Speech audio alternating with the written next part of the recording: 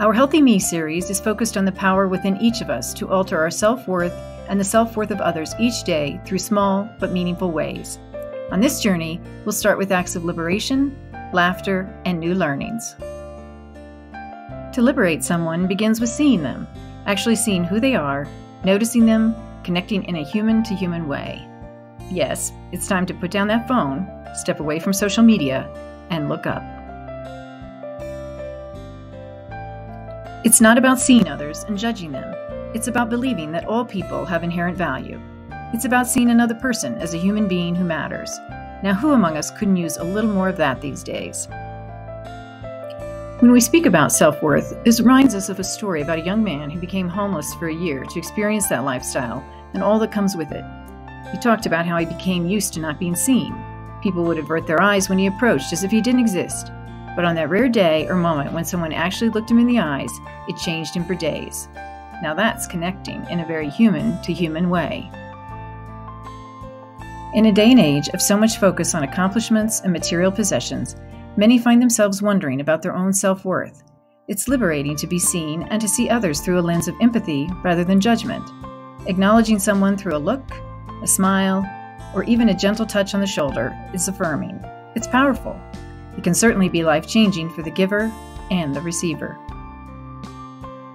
So be a liberator. See the potential in others, their beauty, and yes, even their pain, and then honor them in your thoughts and actions.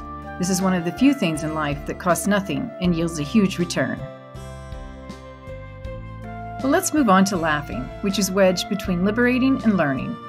It's about living in the present, enjoying what's before you, and not taking yourself so seriously. Being able to laugh at yourself helps others not take themselves so seriously and shows others your humanness. It's also just plain good for the soul. Laughter can be about learning from your failures, learning that it doesn't destroy you and that failures can make you stronger. Laughter is a way to move out of your pride and perfection, acknowledging the human realities of everyday living. We are not designed to be perfect, and thank goodness. Striving for perfection in ourselves or others is a path to blame, shame, and destruction. Our advice see the humorous side in life and be able to craft a story that creates an important message for others at your expense, not theirs. Get comfortable with being human. Now, on to learning, which is to change the way you think, which is not as easy as it sounds.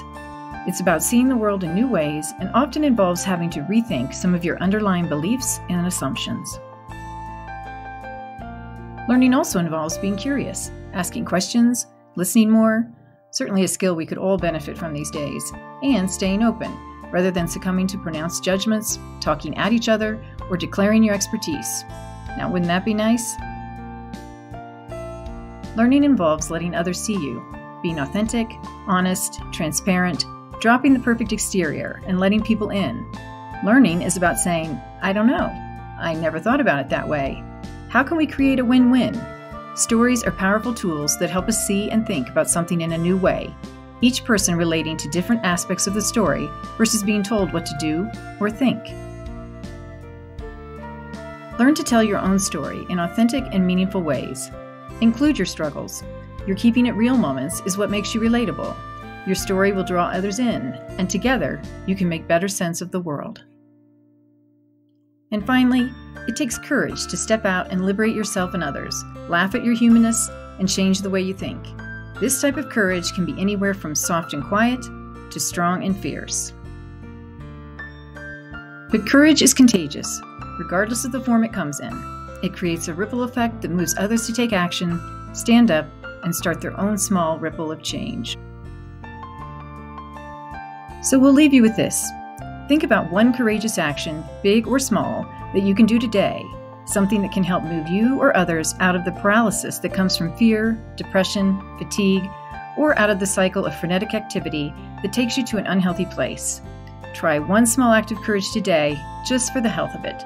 Start the ripple effect.